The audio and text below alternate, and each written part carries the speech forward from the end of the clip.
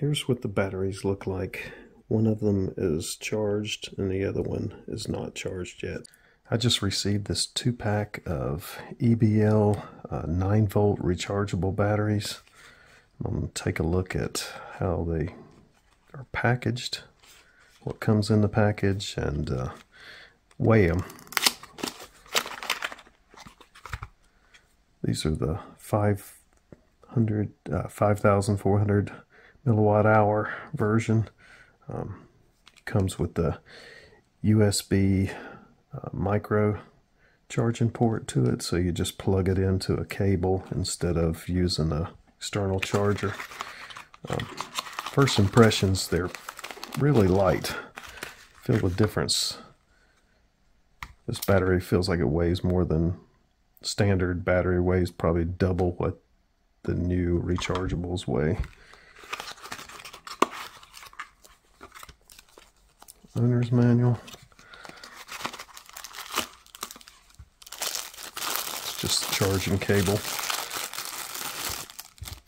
Standard USB plug on one end and a splitter to be able to charge both batteries at the same time. Make sure they plug in all right.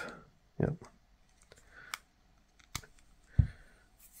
Gonna check and see what these things weigh.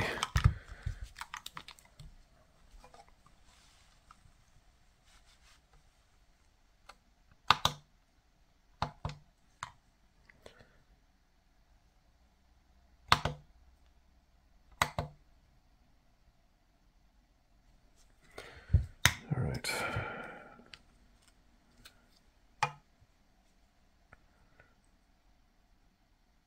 Twenty-four grams.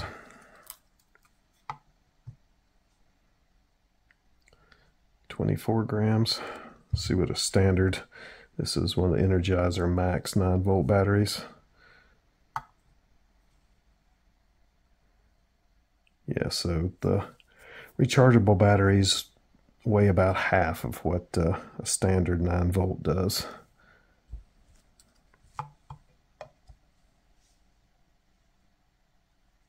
Pretty close. I'm gonna charge these, how long, see how long they take to charge coming straight out of the box. So just whatever the shipping charge comes with, uh, then we'll go from there. I'm going to test how long these batteries take to charge uh, straight out of the box. Um, can just take this meter and plug them in and it'll show how long it takes to charge and uh, how much uh, capacity it takes to to fill them up and then later I'll uh, go back and discharge them recharge them and see what it takes to fill it up from a uh, empty state and uh, see what sort of capacity we're getting with these.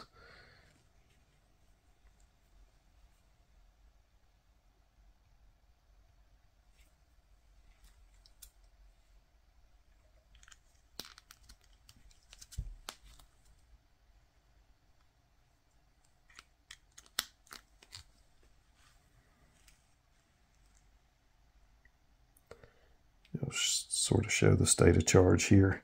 Uh, the amperage that it's pulling with charging them both at the same time and uh, give a good idea on what uh, it takes to fill these up when you get them out of the package since most people will just pull it out of the box and plug them in um, you can sort of get an idea of what it takes before you can use them on the first charge and then once this is done I'll we'll come back here in a minute and take a look and see how long it took to uh, finish it up.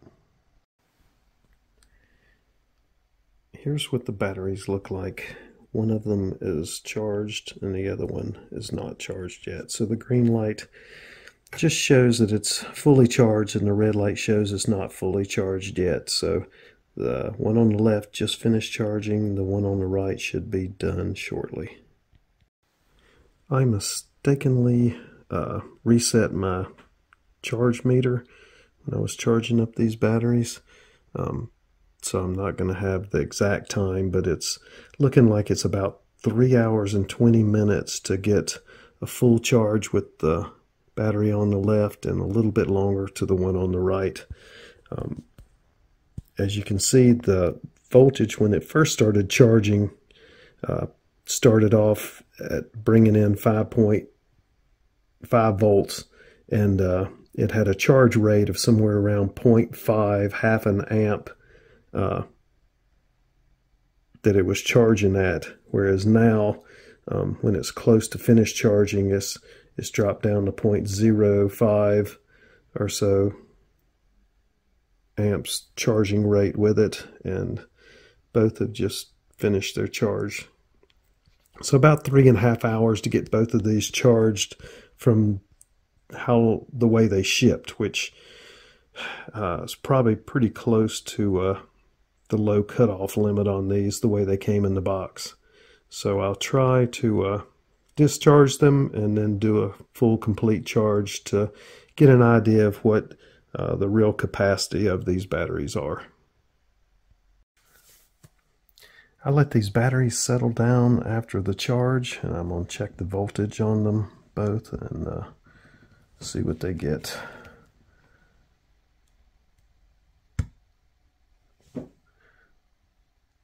Nine point oh nine on this one.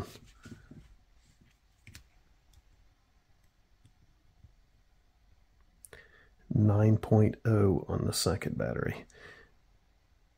This is after they had gotten fully charged and then I let them set for about 10 minutes to settle down. So a little over 9 on one and 9 on the other ones, what they uh, settled in at after a full charge. Well, I've had a few days now to uh, spend some time with these, charging and discharging them.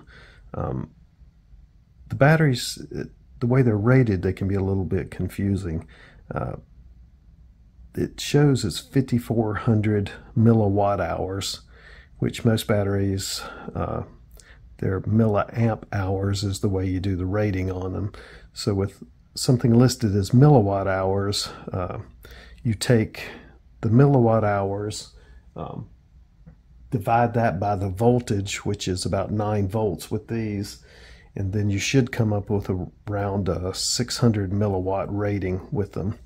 Um, with testing these so far, I've been getting somewhere around 660 milliwatt hour rating out of them. So uh, discharging them through the tester and charging them back uh, on average with about, I think it's five or six charge discharges.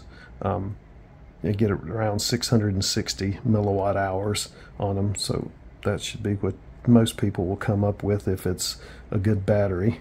Um, you can also use these uh, to charge on the go. Just carry a little battery pack with you like this and just plug it in.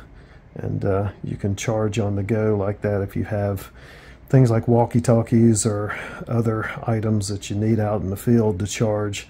Um, you can plug this directly into a car and charge while you're on the road, so it makes it a little better than the older standard style uh, plug-in wall outlet setup with them. Uh, the sizing of them, I haven't had any issue with them. I've heard other people talk about they may be a little large for devices, but I've tested them in a few different things like this TENS machine, um, smoke detectors, and a few other items, and so far I've had no issue with fit. Uh, this battery, which is actually pretty snug in this device, just standard Energizer 9 volt, um, it actually is probably larger than than these uh, EBL batteries. Just want to make sure to put it in the right direction. It just snaps in there pretty secure and not overly tight and uh, not hard to get in and out. Works just fine for me. Um, I would recommend them. I, they seem to last at least as long, if not longer, than uh, a standard 9 volt. Even like these Maxes, that uh, a machine like this, I can get. Um, using it. My wife's got a back problem, and running this thing wide open for a few hours, it, it hardly caused any battery drain on them. So been pretty happy with them so far. Um, I wouldn't see an issue with putting them in any device I have except for certain electronics that uh, have audio problems with them. So if you use it in musical instruments, that sort of thing, foot pedals for guitars, um, if when you have these type of devices that have a USB charger in them, uh, the electronics in them aren't shielded terribly well sometimes and it can interfere with um, any type of audio device. But I haven't had any audio issues with them in a walkie-talkie I've used. It's It seems to have been fine and not affected it. But any high precision instruments you may have trouble. You're probably better off with skipping the USB type charger and go to the older rechargeable that just clips into a, a charger by itself. Uh, you're probably better off with those. Those tend to not have any noise issues with them. But so far, super happy with them. Uh, wouldn't have a concern buying them again in the future. Um, if you have any questions, uh, comments, just let me know. If uh, like the video, just like and subscribe. Appreciate you watching. Thank you.